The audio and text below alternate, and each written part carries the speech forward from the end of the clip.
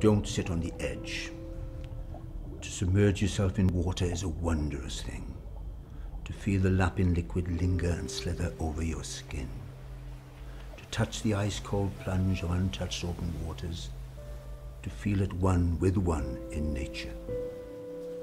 To watch the happiness of toddlers sploshing, splish, splashing, kept abreast with aids on arms or waists or hands.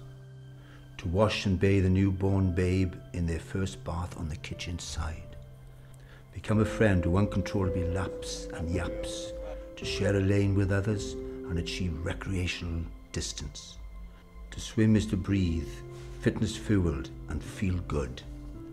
Participate and find your rhythm in the waters. To kick, to glide, to float, to jump, to tuck, to dive in, to hear nothing but silence and still feel alive. Enjoy, drift backwards and listen.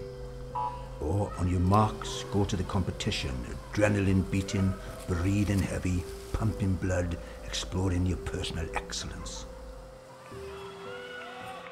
To compete,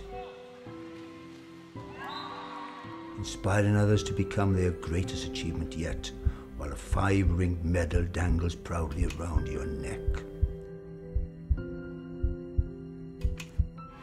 Club becomes family, and your club's logo is imprinted on your heart. Be a volunteer who empowers and as a person grows. Be a teacher, if not for anything else, teach this, learn this. Or become a teammate just to know what that means. Be a lifeguard to sit and watch and wait, and maybe one day be a hero. To swim is all being, all inclusive. A simple pleasure for some, but for those still yet to tinker with the water, jump in. Don't sit on the edge. Rise up out of your spectator seat. Step forward and adorn your change. Climb onto your starting block, ready to dip your toes. Join the goggle-eyed troops and find your connection with water. Your life could be much, much more. Aquatics for everyone for life. Swim Wales.